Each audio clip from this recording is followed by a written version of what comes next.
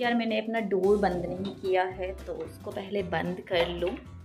और आज मैंने बहुत दिनों के बाद अपना कैमरा उठाया है फॉर ब्लॉगिंग मैंने सोचा कि थोड़ा सा ब्लॉग करूँ, और जैसे कि आप लोग को पता ही है हेल्थ अपडेट मैंने दिया हुआ था अपने इससे प्रीवियस वाले वीडियो में। तो इसी वजह से मैं वीडियोस नहीं बना पा रही थी बट ट्राई करती हूँ कि कभी कुछ कर पाऊँ। आज क्या है कि आज मुझे बहुत सारा काम है और धीरे धीरे करके सारे काम करने हैं। और आज बहुत सारा कपड़ा है जो कि मुझे फोल्ड करना है। साड़ी वाश किए थे मशीन लगाया हुआ था तो साड़ी वाश कर लिए थे और बहुत सारे कपड़े मैंने अभी कबट से निकाले थे और जो कि विंटर के ही हैं और मैं इसे निकाल करके सारे कबट में रखती थी। उस सबको अभी सेट कर लेते हैं और कुछ मैंने विंटर वियर मंगवाया है वो मैं आपको दिखाती हूँ कि मैंने क्या मंगवाया है। और आ, थोड़ा सा काम है, वो सब करती हूँ, फिर मैं आपसे मिलती हूँ बी कंटिन्यू तो गैस जो मैंने बताया था अपना कवर्ड सेट करने का तो वो मैंने ऑलमोस्ट सेट कर दिया है, पूरा नहीं किया है, अभी भी थोड़ा थोड़ा काम जो है वो बचा हुआ है।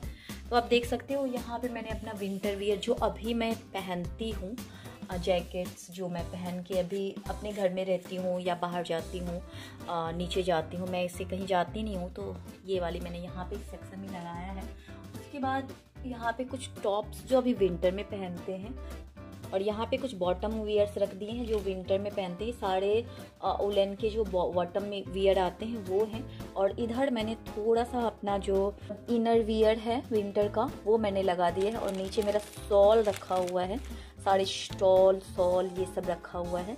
तो इस तरह से मैंने इतना ही शेड किया है। तो ये काम हो गया है। और इधर ये, मैं अपने हस्बैंड का इसमें रख देती हूँ। तो उनका ये सेट है अपना। वो खुद ही कर लेते हैं। बाकी जिसके नीचे ड्रॉर है, ये नहीं सेट है और ये जो है इसमें मेरे कुछ कोट वगैरह रखा है। ये सब भी मैंने सेट नहीं किया कि अभी ज़रूरी की जो सामान थे, उसी को सेट किया है। बाकी भी बहुत सारे मैस जो है, ऐसे ही फैला हुआ है घर में। और उसके बाद कुछ खास नहीं किया है। इतना काम आज की हूँ, क्योंकि मैं धीरे धीरे करके एक एक चीज़ को सेट करती हूँ। अभी भी बहुत सारा काम है, जो बचा हुआ है, मुझे करना है। एंड कर नहीं पाती हूँ। एंड आप देख सकते हो मेरा लिप कितना ड्राई हो रहा है यार। मैं लिप बाम लगाती हूँ, लेकिन पता नहीं क्यों मेरा लिप बहुत ज़्यादा ड्राई होता है। विंटर में मेरा फेस भी ड्राई होता है, लेकिन लिप भी हो रहा है साथ ही साथ। अभी हॉल को सेट करना है, उसमें भी थोड़ा बहुत चेयर में यहाँ पे दो ले आई थी, वहाँ लगाना है। तो थोड़ा सा वो काम बचा हुआ है। और उसके बाद कपड़े भी वॉश करने। और हाँ मैं अभी सोच रही हूँ कि मैं ना यहाँ पे ना ये वाली एरिया देखो मैं दिखा रही हूँ आप लोग को। यहाँ पे मैं अपना कवर्ड लगाई और इसके जस्ट बगल में मैंने अपना ड्रेसिंग लगा रखा है। तो क्या हुआ ना कि ये वाली कवर्ड मैंने जैसे आपको बताया हुआ था कि ये कवर्ड एक और मंगवाएँगे।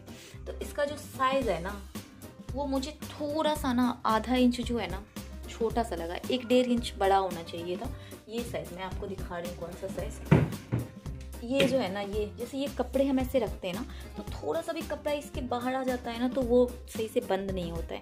तो इससे पहले जो मेरा कवर था ना, जो मैं रेंटेड रहती थी इससे पहले वाले, वहाँ पे फर्निस था तो वहाँ का जो कवर था ना, उसका साइज़ थोड़ा सा बड़ा था। तो मुझे नहीं लगता है कि मैं इसमें इन्वेस्ट कर दूँ, दो कवर्ड ले आऊँ, क्योंकि ये वाली जो है ना हाइड्रोलिक सिस्टम ये ऊपर है तो ये थोड़ा कॉस्टली मिलता है। मैं दो दो लेकर के आ जाऊँ और वो फिट नहीं आए। जैसे मेरे हस्बैंड का कोट वगैरह है, ये मैं हैंग नहीं कर पा रही हूँ। तो मैंने सोचा कि इसको रहने देते हैं। आगे हम देखेंगे कोई अलग सा बनवाएँगे। और ये जो प्लेस है, आप यह देख सकते हो, यहाँ पे जो ये प्लेस बचा हुआ है ना, मैंने इसको वाल को ऐसे रखा है। तो इस वाल पे ना हम थोड़ा सा डेकोरेट करेंगे। जैसे कभी वीडियोस का शूट करना रहता है तो उसके लिए और जैसे आपको पता होगा पहले मैंने इस फ़ोटो से डेकोरेट किया हुआ था। जब हम पहले रहते थे जहाँ पे वहाँ पे भी मैंने ये अपने कवर्ड की साइड में ही आ, मतलब डेकोरेट किया था। तो मैं अभी इसको यहाँ पे ये डेकोरेट करने वाली हूँ। ये पूरा एरिया जो है कोलार्ज बन जाएगा। ये सारी फ़ोटोज़ मैं लेके आई थी क्लिप्स वाइज और अभी ये जो कोलार्ज का काम है वो अभी हम कर लेते हैं। और उसमें मेरे हस्बैंड की ही हेल्प चाहिए क्योंकि मैं नहीं कर पाऊँगी सही से। तो अभी मैंने डबल साइडेड टेप और ये मंगवा के रखा है और अभी उसको लगाएँगे सेट कर लेंगे, ताकि वहाँ पे ना थोड़े जैसे फ़ोटो शूट कभी कराना हो वीडियोस शूट करना हो, कुछ भी हो तो वहाँ पे हम एक डेकोर्ड एरिया टाइप का बना लेते हैं ना। तो यही सब चल रहा है। चलो मैं आगे आप लोग को दिखाती हूँ कि हम कोलार्ज कैसा बनाए हैं। कोलार्ज बना करके फिर मैं आपसे मिलती हूँ। बी कंटिन्यू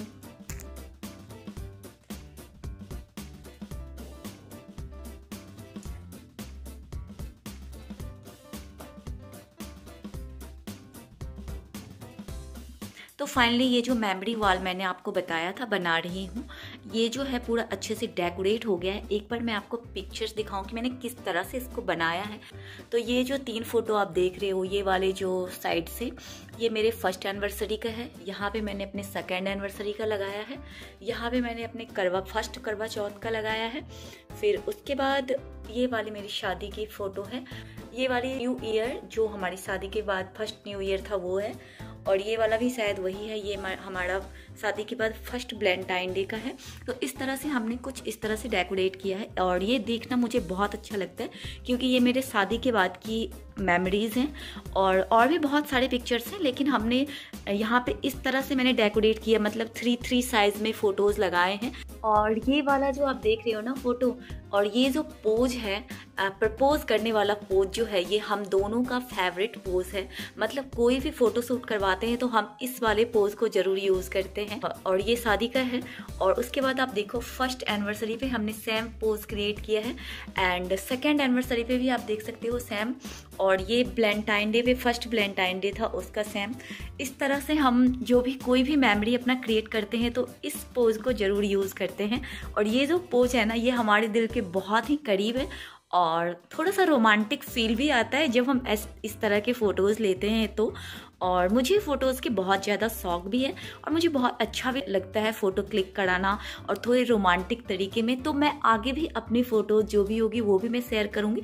बट इतना मैं मेमोरी वाल अपने पहले वाले फ्लैट पे भी बना के रखा था तो इतना मैंने अभी भी बना के रखा है। और इसमें और भी हम एड ऑन कर सकते हैं, लेकिन आई थिंक इतना इनफ है। ज़्यादा वाल को भर भर के रखना भी ज़्यादा अच्छा नहीं लगता है। तो चलो आज के ब्लॉग को हम यहीं पे दी एंड करते हैं। मिलते हैं एक नए वीडियो में, नए टॉपिक के साथ। और आप लोग बताना कि आप लोग और मेरे ब्लॉग्स में क्या क्या देखना चाहते हो। और जो भी आप देखना चाहते हो, हम उसी तरह की ब्लॉग्स बनाएँगे। और प्लीज़ अगर न्यू हो तो सब्सक्राइब कर दो। एंड प्लीज़ शेयर करो मेरे वीडियोस को भी बिकॉज़ मैं बहुत मेहनत से अभी ब्लॉग बना रही हूँ, जैसे कि मैंने आपसे बताया था, मेरी हेल्थ इशू चल रही है। लेकिन फिर भी मैं एक्टिव रहने की कोशिश करती हूँ और अच्छे अच्छे ब्लॉग्स बनाने की कोशिश करती हूँ। तो प्लीज़ मुझे सपोर्ट करो और मेरे चैनल को जितना ज़्यादा से ज़्यादा हो सके शेयर करो और अपना जो भी कमेंट हो, वो मेरे कमेंट सेक्शन में ज़रूर से देना। Bye bye take care